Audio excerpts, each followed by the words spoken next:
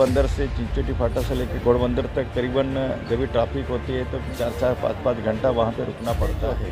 जो भी जितने बड़े बड़े खड्डे हैं, किस तरह से वो रेगुलाइज किया जाए नहीं करते हैं तो उसको टोल ज़रूर हम बंद करने का कोशिश करें जिस तरीके से आपने भी आंदोलन किया था वो आंदोलन चला था क्या लगता है कि जल्द ही उद्घाटन के दिन नज़दीक आएँगे और शहर को पानी मिलेगा नरेंद्र मोदी साहब ये तीस तारीख के बीच में मतलब उसका दौरा होने वाला है। जो टैंकर लैबी है वो टैंकर लैबी भी खत्म हो गया। इस समय मैं उपस्थित हूँ महानगर पालिका के ठीक सामने। आज बैठक बुलाई गई थी। उस बैठक में सभी अधिकारी खासकर चाहे हाईवे के तरफ़ के अधिकारी हों चाहे महानगर पालिका के हों चाहे पुलिस अधिकारी हों तमाम तरह के लोग वहाँ पर उपस्थित थे। और एमपी राजेंद्र गावित, यानी खासदार राजेंद्र गावित भी उस बैठक में उपस्थित थे। उस बैठक में क्या कुछ निकल कर आया?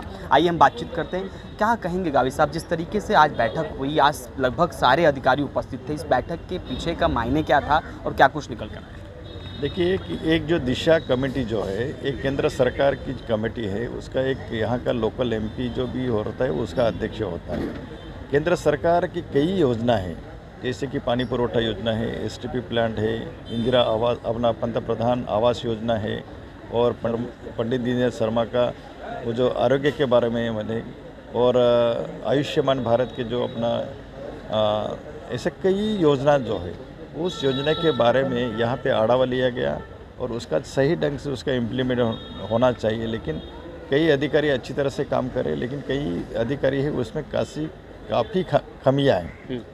और उस वो जो खमियाँ जो है किस तरह से हम उसको मतलब कम करें और नेशनल हाईवे जो है घोड़बंदर से चिंचोटी फाटा से लेकर घोड़बंदर तक करीबन जब भी ट्रैफ़िक होती है तो चार चार पाँच पाँच घंटा वहाँ पे रुकना पड़ता है। और कोई बीमार आदमी होगा तो रास्ते में ही मतलब वो उसका मतलब बीमारी बढ़ सकती है बढ़ सकती हो। है तो इसके लिए क्या है कि वो खड्डे जो है जो भी जितने बड़े बड़े खड्डे हैं किस तरह से वो रेगुलाइज किया जाए और उसके ऊपर वो पंद्रह दिन उनको क्या पंद्रह दिन का मोहलत दिया था? पंद्रह दिन भी ख़त्म हुआ लेकिन अभी एक तीन या चार दिन का उसका मोहलत दिया है।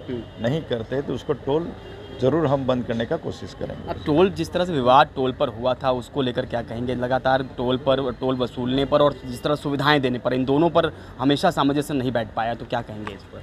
डेफिनेटली गवर्नमेंट जो है एक फोर व्हीलर जो है मतलब और थ्री व्हीलर है उनके बारे में टैक्स में उसमें राहत दिलाने का गवर्नमेंट कोशिश कर रहे हैं। और हम भी ज़रूर मतलब जो जो चारोटी टोल नाका और अपना खानीवड़े टोल नाका उसी के बारे में भी हम टोल फ्री कैसा हो सकता है? मतलब फोर व्हीलर और थ्री व्हीलर के बारे में। आशा करें कि जल्दी हो सकता है इसके लिए आप पहल करेंगे तो। डेफिनेटली मतलब क्या कि इसके बारे में जो अपना एम की जो मिनिस्टर हैं उस मिनिस्टर के बाद मतलब क्या कि अन्य डिस्ट्रिक्ट में यदि उसको मोहलत दिया जाता है हमारे डिस्ट्रिक्ट में क्यों नहीं?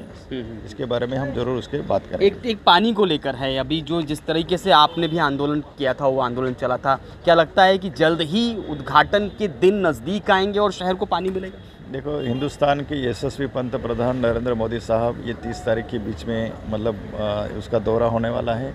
उस दौरे में मतलब वसई विरार महानगर पालिका और मीरा भाईंदर का पानी का जो जो किल्लत है किल्लत। किल्लत है वो किल्लत क्या है कि उनके उद्घाटन होने के बाद ज़रूर समाप्त तो हो जाएगी और जो टैंकर लाबी है, वो टैंकर लाबी भी खत्म हो जाएगी। ये थी खासदार राजेंद्र गावित, इनका साफ़ पे कहना है कि आने वाले समय में कई सारी समस्याओं से समाधान, वसई विरार की जनता को खासकर पालघर के लोकसभा परिक्षेत्र के जन, जनता को मिल सकता है। अब देखना ये होगा आने वाले समय में महानगर पालिका में जिस प्रकार से आज बैठक हुई हाईवे के सड़क की घटनाएँ दुर्घटनाएँ जो होती रहती हैं गड्ढों के कारण वो कब दूर होगी उसके लिए चार दिन का मोहलत दिया गया है। साथ ही साथ इन्होंने कहा कि जल्द ही एक सौ जो पा, पानी को उद्घाटन रुका हुआ था उसे प्रधानमंत्री नरेंद्र मोदी जल्द ही उसको उद्घाटन भी करेंगे। इन सब बातों पर विशेष तौर पर सामने आगे भविष्य में क्या कुछ होता है ये सब कुछ देखने वाली बात होगी।